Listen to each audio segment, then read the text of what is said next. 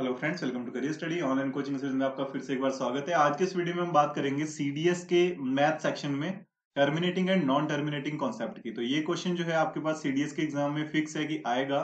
तो यहाँ पर आपको करना क्या होता है कि जब भी आपको इस तरह का क्वेश्चन आ जाए तो आपको ये बताना है कि जो आपका जो डेसिमल सिस्टम है, वो आपका टर्मिनेटिंग होगा या नॉन टर्मिनेटिंग होगा। जिसको हम शांत या अशांत बोल सकते हैं।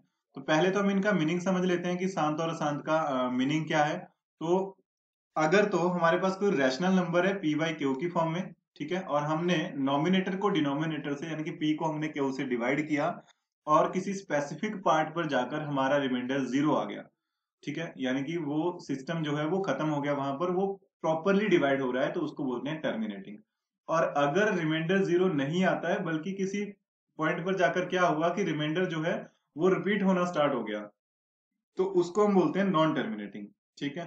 तो सॉल्व कैसे करना है इस तरह के क्वेश्चंस को? अगर आप प्रॉपर पूरा सॉल्व करने लगेंगे तो टाइम जो है उसमें बहुत ज़्यादा लगता है। तो इसका इजीली ट्रिक है। करना क्या है? आपको मान लो आपको कोई क्वेश्चन आता है पी वाई क्यू की फॉर्म में आपके पास कोई रैशनल नंबर दिया हुआ है और पूछा है कि जो आपका ये नंबर सिस्टम है डेसिमल सिस्टम है, वो टर्मिनेटिंग है या नॉन टर्मिनेटिंग तो आपको क्या करना है? आपको क्यू के फैक्टर्स बनाने हैं। ठीक है? क्यू के फैक्टर्स बनाएँगे। अगर क्यू के फैक्टर्स में सिर्फ़ टू और फाइव आ रहा है, ठीक है? ओनली टू आएगा, तब भी ठीक है। ओनली फाइव आएगा, तब भी ठीक है। ये दोनों आएँगे, तब भी ठीक है, तब भी हमारा जो सिस्टम होगा डेसिमल सिस्टम होगा, वो टर्मिनेटिंग होगा, ठीक है? इस कंडीशन में क्या होगा? टर्मिनेटिंग हो जाएगा ये। अगर तो हमारे पास टू एंड फाइव आ रहे हैं। लेकिन अगर हमने क्यू के फैक्टर्स बनाए, ठीक है? क्यू के जो फैक्टर बनाए वो टू फाइव के अलावा कुछ और नंबर आ रहा है साथ में, यानी कि टू भी आ गया फाइव भी आ गया, कुछ और भी आ गया, या फिर कुछ और ही आया तो वहाँ पर वो टर्मिनेटिंग नहीं होगा, वो होगा नॉन टर्मिनेटिंग ठीक है? अब कुछ एग्जांपल्स लेते हैं इस चीज़ को समझने के लिए। मान लो आपके पास क्वेश्चन आया है थ्री अपॉन ट्वेंटी तो हमने क्या करना है? हमने सिंपली ट्वेंटी के फैक्टर जो हमारा नॉमिनेटर है नॉमिनेटर को हम छोड़ देंगे डिनोमिनेटर को लेंगे डिनोमिनेटर के फैक्टर बनाएँगे टू से आ जाएगा टेन फिर टू से आ जाएगा फाइव एंड टू से फाइव से आ जाएगा वन तो इसको हम क्या लिख सकते हैं? Three upon two rest power two into five rest power one तो अब हमारे पास क्या है? टू और फाइव के अलावा इसके फैक्टर में कुछ और नहीं है। तो अगर कोई और नहीं है तो ये किस तरह का है? ये है टर्मिनेटिंग ठीक है? टर्मिनेटिंग फॉर्म में आ गया ये। अगर कुछ और होता तो हम लिखते हैं इसको कि ये नॉन टर्मिनेटिंग है।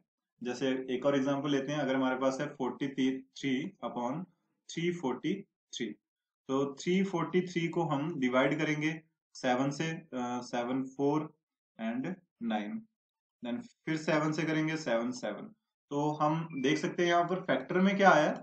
फैक्टर में हमारे पास सिर्फ़ सेवन आ रहा है। यानी कि सेवन आ गया। मेन पॉइंट ये है कि टू और फाइव के अलावा कुछ और आ गया। तो ये किस तरह का है? ये है हमारे पास नॉन टर्मिनेटिंग ठीक है? सिंपल सा कॉन्सेप्ट है बिल्कुल। अब नेक्स्ट देखते हैं। अगर हमारे पास क्वेश्चन है 93 three upon ninety three upon sixteen hundred ठीक है? तो हमें क्या करना है? हमें सिक्सटीन हंड्रेड के फैक्टर बनाने हैं। सिक्सटीन हंड्रेड के फैक्टर बनाएँगे टू से आ जाएगा एट हंड्रेड फिर टू से करेंगे टू से आ जाएगा फोर हंड्रेड एंड देन फिर टू से टू हंड्रेड देन फिर टू से आ जाएगा हंड्रेड एंड टू से फिफ्टी टू से ट्वेंटी फाइव एंड फिर फाइव से आ जाएगा फाइव एंड लास्ट में फाइव से वन आ जाएगा। तो यहाँ पर हम देख सकते हैं कि हमारे पास इसके फैक्टर्स में डिनोमिनेटर के फैक्टर्स में सिर्फ़ टू आ रहा है और फाइव आ रहा है। तो इसको हम क्या बोलेंगे कि ये क्या है? ये टर्मिनेटिंग है। बिल्कुल सिंपल सा कॉन्सेप्ट है टर्मिनेटिंग एंड नॉन टर्मिनेटिंग का। अब कुछ और एग्जांपल लेते हैं, जैसे अगर हमारे पास है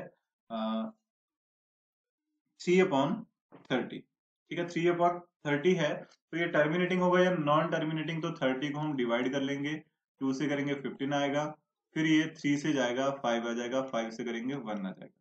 तो यहाँ पर हम देख सकते हैं कि टू तो है फाइव भी है, लेकिन उनके अलावा थ्री भी आ गया इसमें। तो जब थ्री आ गया तो ये किस तरह का हो गया? नॉन टर्मिनेटिंग ठीक है, ये नॉन टर्मिनेटिंग फॉर्म का हो गया। अब नेक्स्ट देखते हैं। एक और देखते हैं हम क्वेश्चन जैसे इस तरह का। अगर हमारे पास क्वेश्चन है twenty five upon twenty five upon five one two ठीक है फाइव वन टू है तो फाइव वन टू के फैक्टर बनाएँगे। फाइव वन टू के फैक्टर बनेंगे टू से करेंगे two two five and six two से करेंगे वन टू एट टू से करेंगे सिक्सटी फोर फिर टू से करेंगे थर्टी टू टू से सिक्सटीन टू से एट एंड टू से फोर टू से टू टू से वन। तो इसमें हमारे पास टू फैक्टर है, उसके अलावा कुछ भी नहीं है, ठीक है? हम अगर इसको ध्यान से देखें तो five one two, five hundred and twelve के फैक्टर्स में सिर्फ़ टू आ रहा है। तो अगर टू आ रहा है तो ये क्या है? ये टर्मिनेटिंग है, ठीक है? ये टर्मिनेटिंग फॉर्म में है, क्योंकि या तो टू आ जाए या फाइव आ जाए या टू और फाइव दोनों आ जाए, इनके अलावा कुछ और आ गया फैक्टर्स में तो वो हमारे पास नॉन टर्मिनेटिंग होगा। अब एक और एग्जांपल ले लेते हैं। जैसे अगर हमारे पास क्वेश्चन है लास्ट टाइम आया हुआ था सिक्सटीन अपॉन सेवन ठीक है सिक्सटीन अपॉन सेवन है, तब वैसे ही पता लग रहा है सेवन है तो ये नॉन टर्मिनेटिंग है। और सेवनटीन अपॉन एट ठीक है सेवनटीन अपॉन एट है तो एट के फैक्टर क्या होते हैं? Two four two two two one ठीक है two into two into two तो सिर्फ़ टू आ रहा है तो ये क्या है? ये टर्मिनेटिंग है। तो बस सिंपल सी बात है अगर आपके पास डिनोमिनेटर में, यानी कि पी वाई क्यू की फॉर्म में जो भी है, उसमें क्यू में आपके पास जो फैक्टर्स आ रहे हैं, वो टू एंड फाइव की टर्म्स में आ रहे हैं। सिर्फ़ उसमें टू है फाइव है या टू एंड फाइव दोनों है तो वो क्या होगा? वो टर्मिनेटिंग होगा। अगर उसमें टू फाइव के अलावा प्लस समथिंग एक्स्ट्रा आ गया, कुछ भी और आ गया, तब वो नॉन टर्मिनेटिंग है। तो ये कॉन्सेप्ट था आपका टर्मिनल एंड नॉन टर्मिनल का। आई होप कि ये बिल्कुल क्लियर हो गया होगा आपको। काफ़ी इजी है। तो नेक्स्ट टाइम मिलते हैं नेक्स्ट टॉपिक के साथ। Thank you